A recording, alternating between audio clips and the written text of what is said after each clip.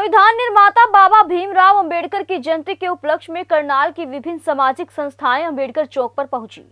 संस्थाओं ने अंबेडकर चौक पर पहुंचकर बाबा साहब को श्रद्धा सुमन अर्पित किए और उन्हें नमन किया। वहीं संस्थाओं ने लोगों से बाबा भीमराव अंबेडकर के दिखाए रास्ते पर चलकर समाज को आगे बढ़ाने का आह्वान किया। इस मौके पर नीलोखेड़ी के विधायक धर्मपाल ने पहुंचकर बाबा भीमराव अंबेडकर की प्रतिमा को पुष्प अर्पित किए और उन्हें श्रद्धांजलि दी। भीमराव अंबेडकर की जयंती के उपलक्ष्य में केक काटा गया और सभी को अंबेडकर जयंती की शुभकामनाएँ दी गई।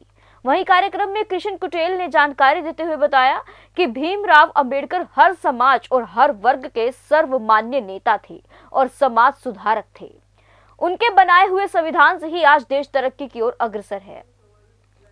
उन्होंने समाज के लोगों से आह्वान किया कि वह भेदभाव छोड़कर एकजुट हो जाएँ और बाबा साहब की नीतियों का अनुसरण करते हुए समाज के उत्थान में अपना योगदान दें। डालने का काम करते हैं, लेकिन आने वाले समय के अंदर भी हम इसको ठीक करने का काम भी करेंगे और जो है कि इसको एक रजिस्टर्ड संस्था बना करके जो है, इसको हम आगे काम लेने का काम करेंगे। और साथियों, जो कार्य हम लोगों ने स्टार्ट किया था और उसी कार्य को मद्देनजर रखते हुए जो है कि 24 तारीख या 25 तारीख को भी डेट फिक्स की जाती है। एक शाम बाबा साहब के नाम आपके करनाल के अंदर ही प्रोग्राम होगा। उसकी तैयारी जो है कि बड़े जोरों शोरों के ऊपर है। तो मेरी सभी साथियों से अपील है चाहे इसके अंदर पार्टी कोई भी है लेकिन कोई खुशी का ठिकाना नहीं। जिस समाज में एक बाबा अंबेडकर साहब ने 130 वर्ष पहले जन्म लेकर पूरे देश का सुधार किया जहाँ पर महिलाओं को कहीं भी पूछ नहीं होती थी। हर वर्ग का